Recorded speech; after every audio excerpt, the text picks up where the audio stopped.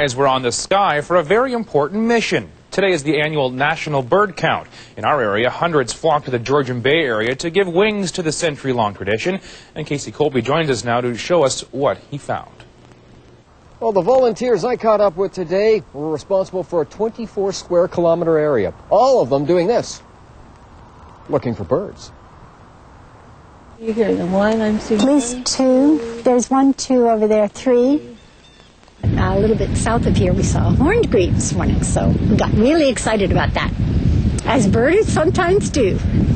Dorothy Harper's eyes are on the skies. This is her 10th year participating in the Christmas bird count, an essential for monitoring which birds are plentiful and which ones are in decline. This year's mild weather has been great for the birds and those counting them.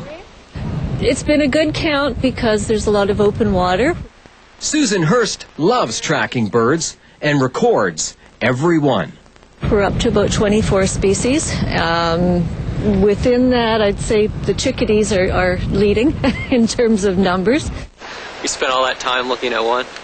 Rob is hoping to see one particular chickadee, a boreal chickadee to be precise. It's rare to see one at this time of year, but he says if anyone can find one, he can.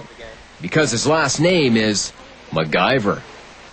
I can draw on my uh, six seasons of television uh, experience where I uh, had a lot of adventures, and I find it very helpful, yes. He's kidding, of course, but I took the search for the rare chickadee quite seriously. Probably too seriously. I did the wrong bird call, but found out calling the birds is something that can work at the right time. Whippoorwill, whippoorwill.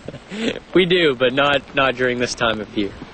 Bird counters spend a great deal of time waiting to see a bird. And after much time, I spotted two birds on the beach. That's a ring-billed gull. Uh, there's a young there's a young black great blackback gull near it. Are they rare? No. What is rare is the mild weather that we've been enjoying, and boy, it is nice, isn't it? Not too bad out here. Let's have a look right now. Across our region, Vaughan, Markham, Orangeville, as far as temperatures go, relatively mild. We're looking at four degrees, a few clouds in the sky. You see the anemometer over my shoulder, slowly turning as we head across the region. Aurora, Barrie, and Orillia looking at fours and three degrees, and pretty much the same situation when you head on over to Collingwood, Wasaga Beach, and Muskoka, threes and two degrees. But coming up in main forecast, I'll tell you just what record warmth will reach tomorrow. That's coming up in just a few minutes' time. For now, let's go back to the news center. We need to get Casey a new hat for Christmas. You think so?